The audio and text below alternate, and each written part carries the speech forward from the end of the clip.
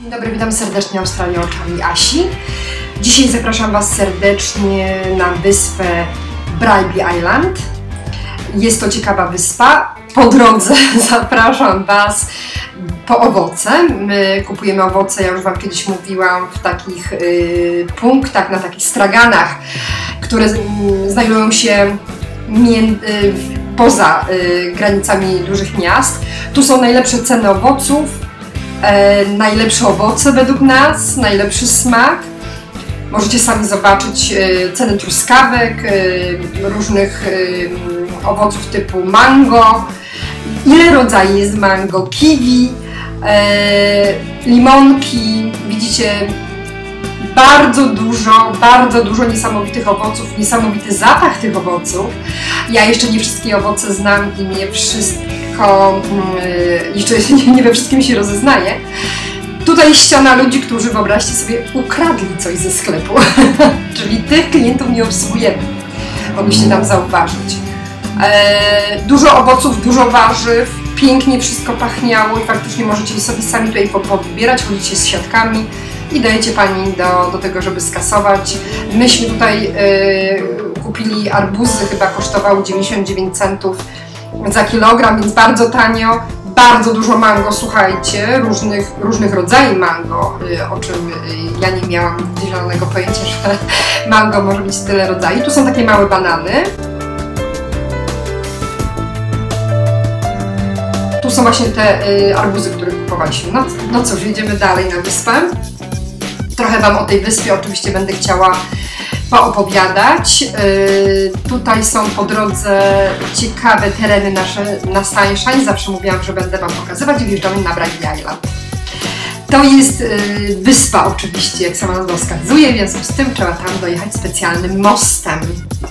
Może ja Wam opowiem troszeczkę o tej wyspie. Na tej wyspie znajdują się zwierzęta takie jak kangury, strusie emu, węże, żaby zielone, taki jest pasaż między wyspą a kontynentem, gdzie można spotkać żółwie duże, delfiny, są lasy eukaliptusowe, a więc i koale możemy spotkać. Jest na wyspie 350 rodzajów różnych ptaków i są tak zwane latające lisy, to jest taki rodzaj y, nietoperzy. Wyspa nam się bardzo podoba, chociaż ona jest bardzo zróżnicowana, ponieważ są tutaj, zobaczycie, bardzo piękne nowe osiedla, ale są również e, domy y, stare, można powiedzieć starsze, nie stare, ale starsze. Jesteśmy na wyspie. Mm, zobaczycie razem z nami przepiękne tereny i również plaże. Ja postaram się Wam troszeczkę, jak zwykle, opowiedzieć historii, powyciągałam trochę y, elementów, mam nadzieję, dla Was mm, interesujących, jak chodzi o historię. I teraz y, do czasów Jamesa Cooka, który, który tutaj przybył w ogóle i zaczął tą Australię odkrywać, wyspę zamieszkiwali aborygeni, którzy byli z plemienia Bribey, dlatego Bribey Island i w tej chwili mieszka, mieszka y, na tym terenie aborygenów 1,8% z całej populacji, a więc niewiele. My będziemy ich widzieć na wyspie, także ja, na, na plaży, także ja Wam pokażę y, grupki aborygenów. Tutaj w tej chwili wjechaliśmy na nowe osiedle nowe osiedla na wyspie budowane są wzdłuż kanałów. Te kanały są oczywiście sztuczne, one zostały zrobione po to, żeby ludziom się bardziej podobało. I na tych kanałach zobaczycie stoją fantastyczne jachty, piękne łodzie. Ludzie w Australii naprawdę mają pieniądze i tych jachtów, jachtów jest niesamowita ilość. Zobaczcie palmy i bardzo duże domy. Na, na tym osiedlu budują się y, bardzo duże domy. Zresztą często jest tak, ja już Wam mówiłam, że jak chcecie budować dom w jakimś miejscu, to macie określone, że dom ma być nie mniejszy niż ileś tam metrów. Także tutaj domy, yy, zobaczycie, są miejsca, kiedy te domy są trochę mniejsze, ale faktycznie są domy, kiedy one są wielkie. Zobaczcie, tu są te kanały, będziemy co jakiś czas koło nich, przejeżdżać. Są każdy dom, który jest nad kanałem ma specjalną przystań i tam może trzymać swój prywatny jacht. I faktycznie e, domy, które mają przystań swoją własną, kosztują około milion dolarów. Zobaczcie, jakie wielkie domy. I one wszystkie te, które tam widzicie, stoją przy tej przystani. Tutaj te domy, które stoją przy ulicy, to jakby są w drugiej linii do tego kanału, więc one są tańsze, kosztują około 700 tysięcy dolarów. Będę Wam pokazywała e, to osiedle, bo specjalnie wjechaliśmy tam z Przemkiem, żeby Wam faktycznie pokazać, dlatego że cały czas mnie prosicie, żeby, żeby pokazywać te domy, żeby pokazywać te miejsca, jak tutaj ludzie mieszkają, więc spełniam Wasze marzenie. Może Waszym marzeniem będzie to, żeby tutaj mieszkać, więc powiedzmy, e, spełniam Waszą prośbę.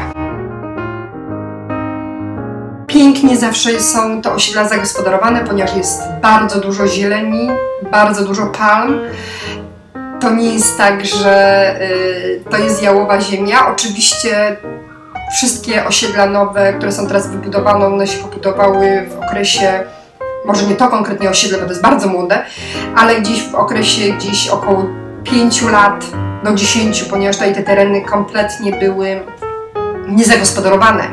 I jak rozmawiam z ludźmi, z Australijczykami, którzy przyjechali tutaj na te tereny 10 lat temu, to mówią, że to, to się kompletnie zmieniło.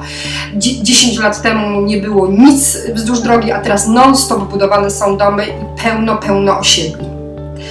To jest y, specjalne miejsce, które się nazywa Harbor, Pacific Harbor i ono zostało zbudowane w 1997 roku.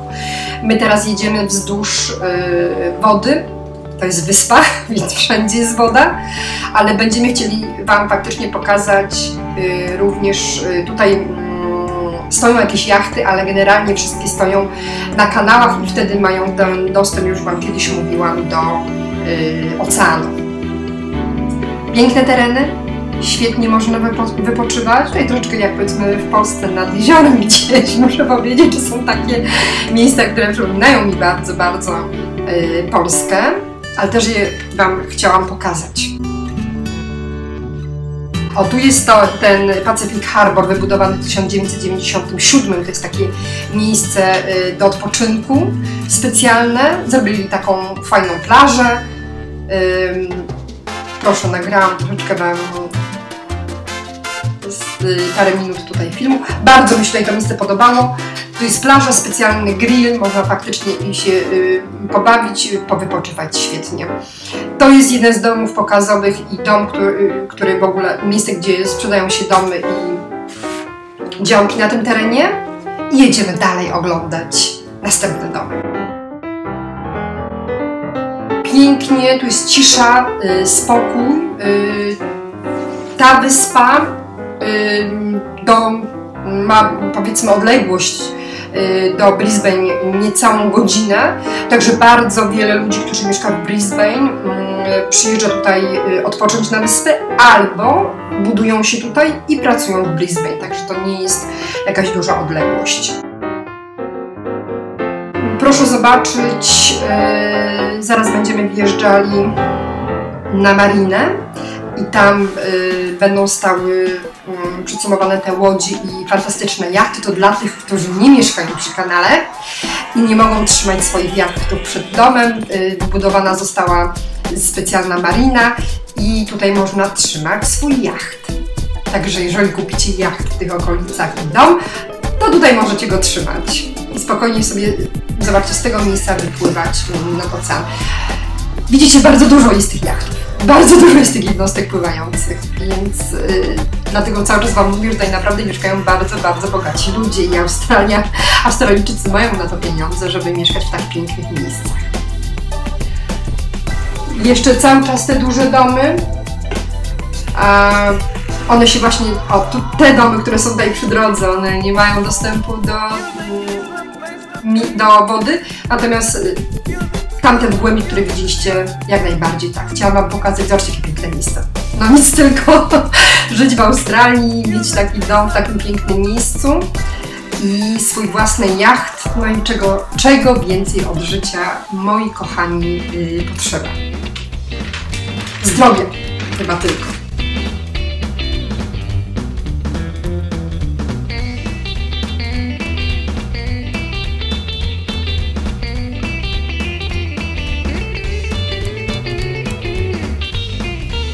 Opowiem Wam o y, rachunkach, które bo pytacie mnie za dom. Y, bardzo często domy mają y, panele słoneczne na dachu, tak samo jak my mamy.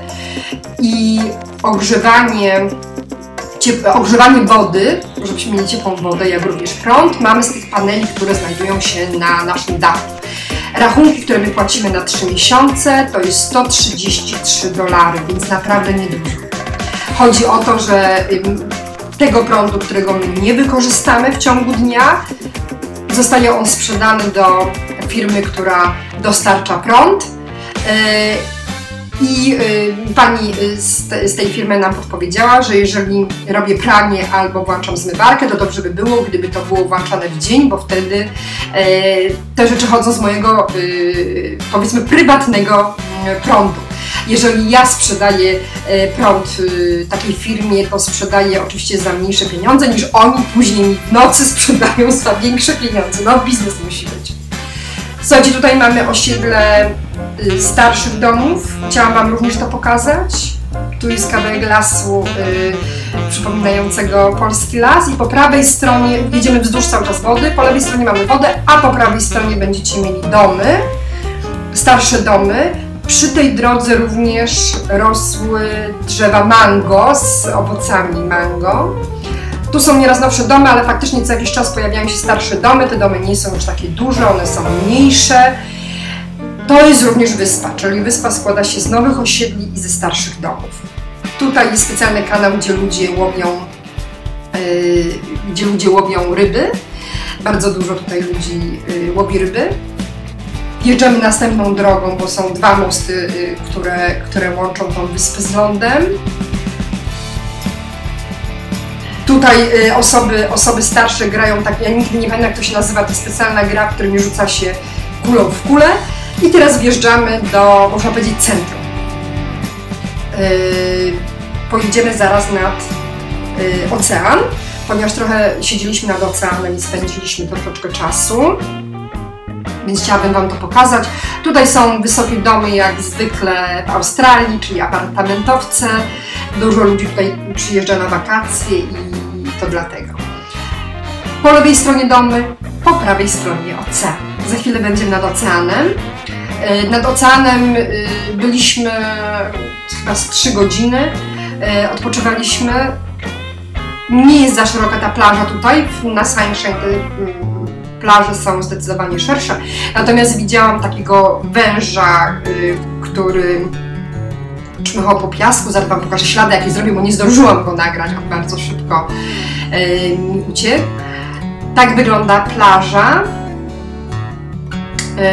I proszę, grupa aborygenów, są bardzo sympatyczni, bo myśmy z nimi rozmawiali, także to są bardzo mili ludzie. Tutaj e, roślinność, jaka znajduje się, że żółwie tutaj można spotkać, macie e, zdjęcie i za chwilę pokażę Wam ten ślad, który zrobił wąż. Jeden pan e, wyjaśnił mi, że to był mały wąż, ponieważ jego mama leżała gdzieś w krzakach i to był mały węże. Niestety przykro mi, nie zdążyłam nagrać tego węża, ale nie wystraszyłam się. On, to był taki brązowy, cienki wąż.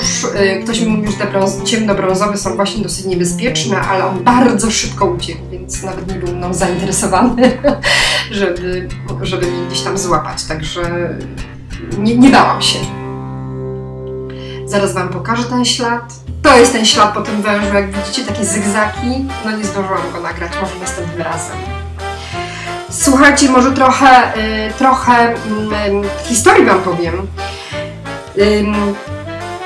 Do czasów, tak jak Wam mówiłam, Jamesa Cooka mieszkali tutaj aborygeni z plemienia Braibi, przepraszam. I w 1799 roku Matthew Flinders y, tutaj wysiadł ze swoimi powiedzmy podopiecznymi żołnierzami, można powiedzieć, na łodziach na tej wyspie. Jeszcze nie wiedział, że to jest wyspa, myślał, że to jest ląd. Zorientował się y, po 15 dniach, że, że jest na wyspie, ponieważ musiał naprawiać tutaj swoje łodzie, łodzie się zepsuły. Natomiast doszło do spotkania z aborygenami i to spotkanie było do pewnego czasu bardzo spokojne, ale jeden z jego żołnierzy ściągnął kapelusz i wtedy jeden z aborygenów rzucił w tego żołnierza włócznią i jeden z żołnierzy strzelił do aborygena, także aborygen zmarł na miejscu, aborygeni uciekli, ale to była taka, takie no, niezbyt y, sympatyczne spotkanie.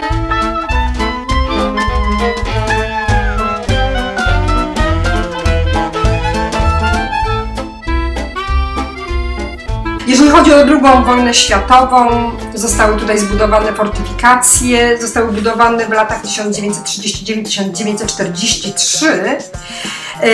Jednak y, większo, większe fortyfikacje zostały budowane w Kalandrze u nas, bo Kalandra leży wyżej niż ta wyspa, a na tej wyspie tutaj na Brajgi jest bardzo dużo komarów, także to mm, nie było zbyt, zbyt przyjemne dla tych ludzi.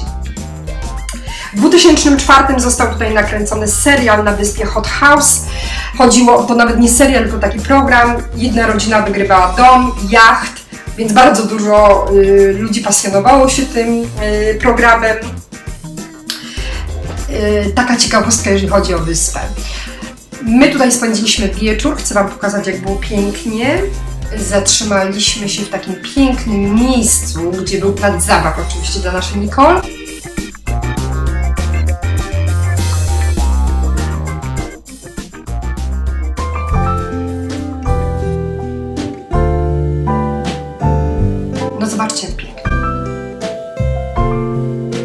Zachód słońca był niesamowity tutaj. Naprawdę byłam pod ogromnym wrażeniem. Z Przemkiem kupiliśmy sobie y, kawę, herbatę i delektowaliśmy się przepięknym zachodem słońca. Naprawdę byliśmy tutaj bardzo zrelaksowani. Bardzo nam się ta wycieczka tutaj podobała. O, tak wyglądają te, te leżaki, na których leżeliśmy. Bardzo fajny pomysł, zamiast normalnych siedzeń, y, zamiast normalnych mm, krzeseł, normalnych ławek. Ja Wam serdecznie dziękuję za to, że chcecie być ze mną. Serdecznie Was pozdrawiam, przygotowuję inne filmy. Do zobaczenia następnym razem. Całuski, kochani, papa.